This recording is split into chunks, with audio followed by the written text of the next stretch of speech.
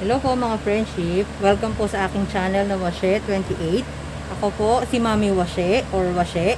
Kasama po ang aking anak na si Hopya aka Moon Liza. Ah, ngayon po, ah, magkukwento po ako ng maliit lang, konting-konti lang naman na experience ko kung bakit po ako nakapag-collect ng mga manika. Kung hindi nyo po natatanong, nangongolekta po ako. Kami ng anak ko, pero hindi naman po yung ah, kolektang yayamanin.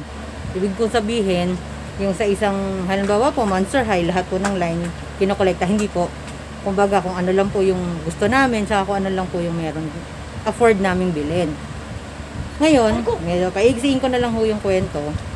Kasi po nung bata ako, hindi naman talaga kami mayaman. Hindi, ta- hindi kami mayaman. At all. Hindi talaga.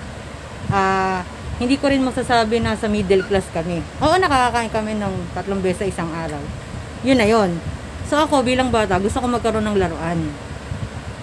Na-experience ko kasi yun na una kong nagkaroon ng Barbie when I was 4 years old yata. Binili yun ng nanay ko. Hindi ko alam kung inutang yata na gift check ng tatay ko kaya bumili kami sa SM Cubao. SM Cubao pa lang ang alam kong mall noon ng bata ako. So, nung lumaki ako, lumaki, naging elementary ako, yung mga pinsan ko, ah, mga parents nila ay OFW. So, ibig sabihin, medyo nakaka-LL. Nakikita ko sa kanila, binibili sila ng Barbie, ah, yung playset, na ang ingit na ingit ako kasi ako bilang bata gusto ko rin magkaroon nun. Tapos nang dumadating sa point na gusto nila akong kalaro. Siyempre ako bilang bata masaya ako. Yun nga lang, kalaro nila ako, pero bawal kong hawakan yung manika. Never. As in never. Kasi ang katuwiran nila madumi ang kamay ko. Ang, ang ah, parang ang papel ko lang doon, nakaupo, nanonood, pinapanood ko lang sila maglaro, tapos uutusan nila ako. Yun lang yun. O kaya, pag makakahawak lang ako ng laruan sa kanila, pag halimbawa naglalaro, nakapatong sa lamesa, nalaglag, damputin mo yon. Siyempre ako dadamputin ko dahil mahahawakan ko na. Kaya nung nung tumanda pa ulit ako, siguro ah, mga 10 years old ako, kasi tumatak na sa isip ko yon. Sabi ko, hindi, bibili ako. Gusto ko magkaroon ng Barbie. Hanggang sa 10 years old ako, nagpasko, kinulit ko talaga lahat ng mga tito ko. Sabi ko, tito, tas ninong, ninang, bigyan nyo naman ako ng aginaldo. Kahit lima-lima lang, sampo, bente, masaya na ako.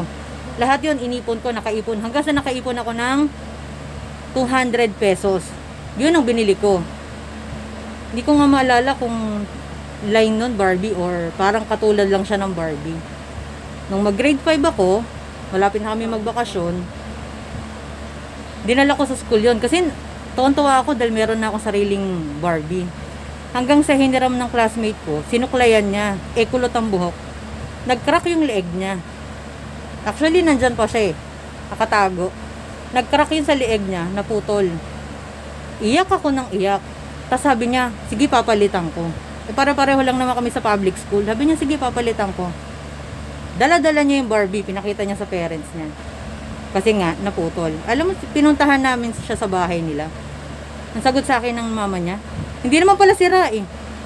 Sabi ko, ay naputol po eh. Sabi niya, papalitan. Ano na ipapalit namin dyan? Ganon siya. Kaya nung tumanda ako, hanggang sa naging high school ako, tumatak na sa isip ko yon Sabi ko, pag ako nagkaanak, pagka babae anak ko, ibibili ko ang anak ko ng manika. Hindi ko siya ide-deprive sa mga ganong bagay. Kaya yan, hanggang ngayon, naglalaro pa rin po ako. Kalaro ko yung anak ko. Tapos katulong ko yung mga tito ko gumawa ng dollhouse, gumawa ng mga bunk bed, tapos yung mga upuan. So susunod po, yung mga yung dollhouse, yung mga bunk bed na ga- gawa sa kahoy, tsaka po yung mga closet. Wait lang po ah. Tingnan natin kung kita. Yun po. Yan. Yung bahay ni Medyo magulo lang po yan, pero andyan po, hanggang doon po sa taas, yan. Yan po yung mga toys namin. Kaya next time po, ipapakita po namin sa inyo, isa-isa, pati po yung mga gamit na nabili namin ng second hand. Okay po, salamat! subscribe po and like yung channel. Thank you!